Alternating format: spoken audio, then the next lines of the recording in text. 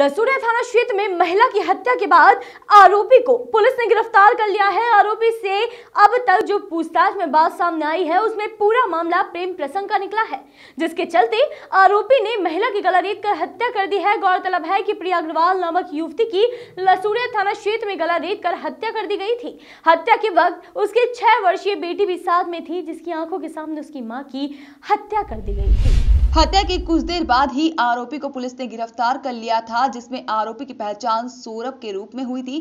पूछताछ में आरोपी ने पुलिस को बताया कि उसके साथ उसके प्रेम संबंध लॉकडाउन के समय से उससे मिलने भी आएगी। और यह बात उसके पति को पता चल गई थी। काफ़ी समझाइश के बाद महिला ने सौरभ से मिलना बंद कर दिया था। वहीं सौरभ इस बात से खफा चल रहा था।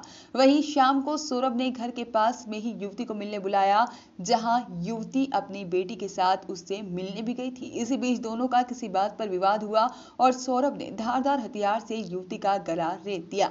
युवती की मौके पर ही मौत हो गई थी। फ़िलहाल पुलिस ने आरोपी गिरफ़्तार कर लिया है, जिससे और भी पूछताछ की जा रही है। देखिए जैसा कि आपको विदित है कि कल शाम को लसुड़िया थाना अंतर्गत ज्ञानशिला कॉलोनी में चौराहे के पास में एक लड़की के द्वारा एक महिला की गला रेत करके हत्या की गई थी और उसमें पुलिस ने आरोपी को गिरफ़्तार कर लिया है और जो आरोपी है वो इक्कीस साल का सौरभ गोत्रे का उसमें जो मुख्य आरोपी है उसका नाम सामने आया है। उसका पुलिस ने जो पूछताछ, अभी प्रारंभिक पूछताछ की है। चूँकि आरोपी है तो वो उसकी बात पे भी हंड्रेड परसेंट यकीन करना संभव नहीं है, जब तक कि उसके और जो सर्कमस्टेंशियल एविडेंसेस हैं, जैसे सीडीआर हो गया और उससे उसकी मैच नहीं हो जाती उसके विचार की। लेकिन प्रथम दृष्टिया जो बात सामने आ रही है, वो ये आ रही है कि इनका आपसी प्रेम संबंध था और प्रेम संबंध के, का पता इनके पति को लॉकडाउन के दौरान पे चला था तो इन्होंने मना किया इसको कि तुम जो है इसे संपर्क मत करो। तो इस बात को लेकर के महिला मान गई थी। अब ये जो है उस पर मिलने के लिए दबाव डाल रहा था। तो इसके बाद एक आध बार शायद महिला गई भी है इससे मिलने के लिए इसमें। और इसी को लेकर के वो कहीं ना कहीं उसके दिल में टीस थी और उसने आज फिर मिलने के लिए बुलाया था तो वो गई महिला। जब महिला गई तो उसने जो है उसका मौका देख करके उसमें वाद विवाद हुआ उनका और उस वाद विवाद के क्रम में उसने धारदार हथियार से उसका गला रेता। सर के अंदर जो है हम्म। तीन लड़के दिख रहे हैं। हम्म। अभी एक ही है इसमें जो अभी इसमें जो मुख्य भूमिका है अभी जो प्रथम दृष्टि आई थी जो पहली दफ़ा हमको मिला था उसमें सौरभ गोत्रे का ही नाम प्रमुख रूप से आ रहा था।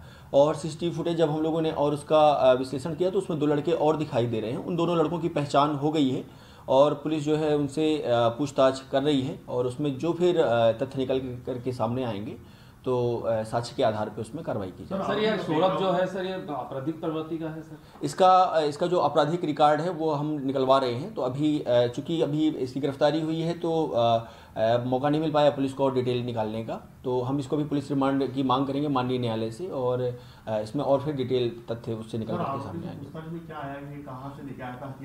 हथियार देखिए उसमें